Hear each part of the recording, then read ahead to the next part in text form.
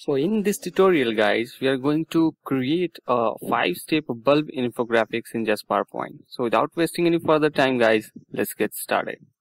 Let's click on insert option over here. Here you will find new slide option. Just click on that and choose a blank slide over here. Now click on shape option. Click on shape option. Choose an oval shape option. Press Ctrl and Shift together and drag it outward to make a circle like this. Let's put it over here. Now press Ctrl D to duplicate it. Again press Ctrl and Shift together and drag it outward to make it bigger like this. Now shift this circle over here. I'm going to select all these two circles and put it over here. Now shift this circle over here like this. And again I'm going to make a duplicate copy of the bigger one and place it over here like this.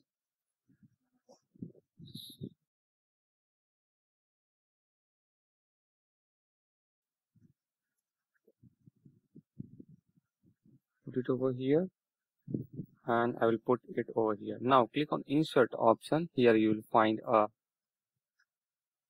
this option means uh, a round same side corner rectangle. Just choose this particular one and drag it over here like this. Slightly I'm going to make it more rounded like this and click on rotate option and flip it vertically like this. Let's put this over here. And slightly I'm going to decrease the size of this shape. Put it over here like this. Okay? Now press ctrl a click on format option just click on merge shape option and save fragment. Now we don't want these two bigger circles so i'm going to delete it. I press delete on keyboard. Now what i'm going to do i will select all these shape and select union under merge shape option. For now i'm going to make the outlines no outline. And again no outline option okay? So now what uh, we will do we will click on insert option and we just have to select this option. Drag a rounded rectangle like this. Make it no outline and let me change the shape fill to this one. For now later on we will change this. So let me make the uh, corner more rounded like this. This much. And drag it something here like this okay. Just zoom in. Slightly decrease the size to this. Okay. And now again duplicate it by press ctrl d and decrease the width of this to this much. Before doing this you just have to make it more rounded like this and decrease the width like this slightly I'm going to increase the length like this and fill it with the different gray colors. Like I'm choosing this color. And place it over here like this. Okay? Just press ctrl D. Place this one over here. Again press ctrl D and place this one over here. Okay?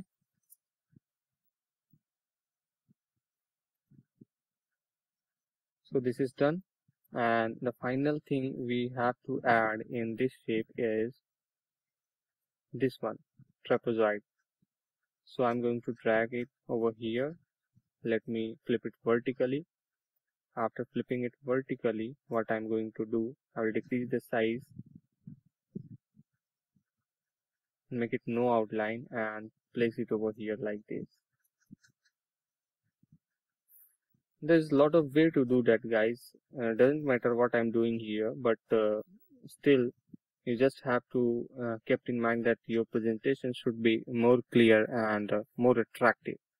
It should be eye-catching that the audience will get the concept very easily with your presentations okay? So this is all about this particular shape. So this is done. And now what i'm going to do i will select all these I will select all these shapes and press Ctrl G to group it. Okay. so now what I'm going to do I will select the rectangle shape over here and drag a rectangle like this okay make it no outline press ctrl D four times and I will put this over here something here and something here okay?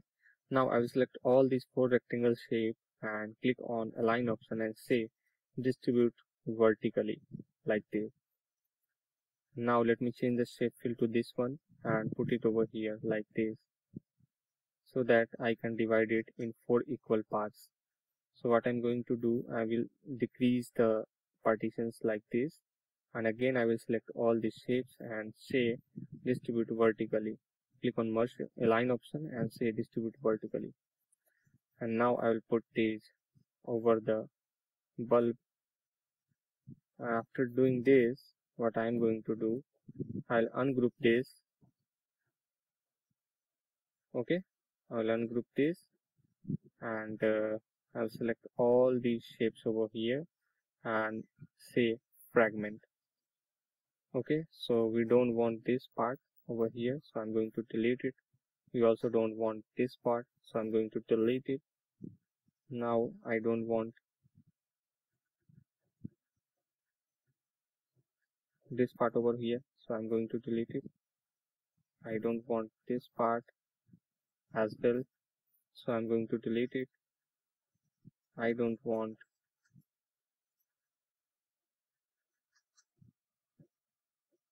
this part over here so I'm going to delete it. And finally I have to delete this one. Okay? So for this. Okay. So this is done guys. So finally what what I have to do I have to fill it with the different gradient colors. So for this I'm going to choose a gradient option over here and for the right handle what I'm going to I'm going to change the type first because I'm going to do it linear. And uh, I will also change the direction like I'm going to change the direction from the uh, left to right like this. And for the right handle what I'm going to do I will choose this color. And for the left handle let me choose the another color. Like I'm going to choose a dark green color over here and for the left handle what I'm going to do I will choose some lighter green color over here. So to do that I will adjust these arrow something on the top so that we can get a lighter green color. So for the second one what I'm going to do I will again choose a gradient fill option. But now I will choose a, a red color for this for the left handle I will also choose a red color but for the left handle what I'm going to do I will choose uh, I'll decrease the hardness of the red color. Means I'm going to choose a lighter red color over here. Like this. For the third shape again I'm going to click on gradient fill and in the way in the way in this way you have to fill it fill all these partitions with the different gradient color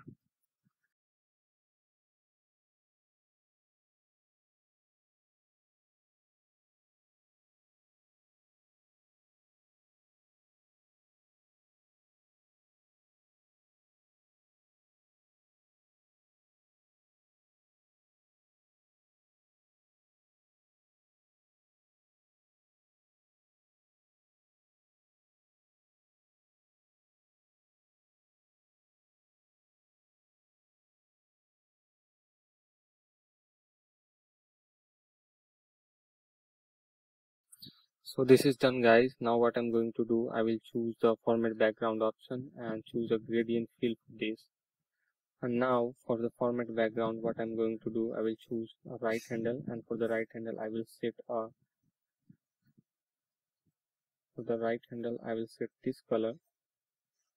And for the left handle what i'm going to use i will set this color over here. But the type should be radial like this and the direction should be this one. Okay i think left for the left we should select some white color like this. Now it's looking perfect.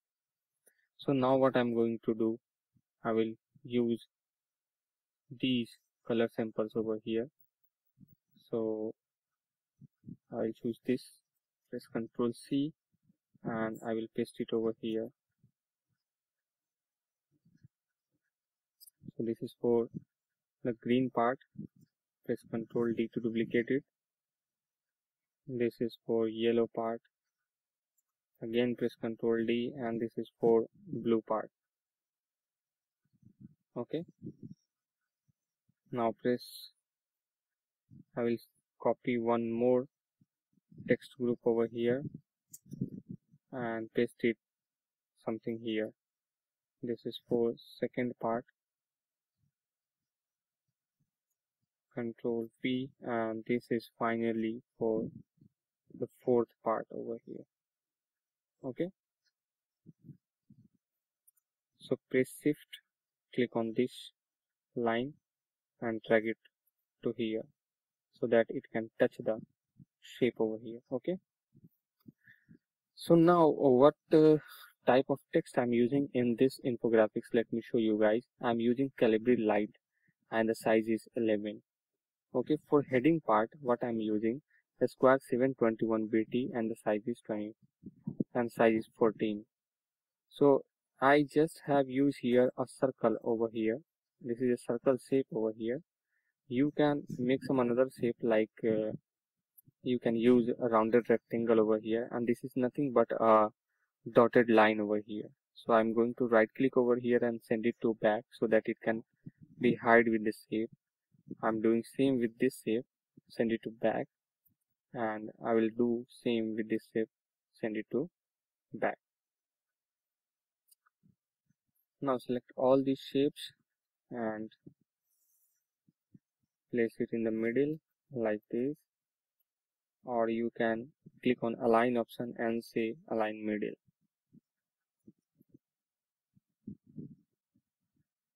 Okay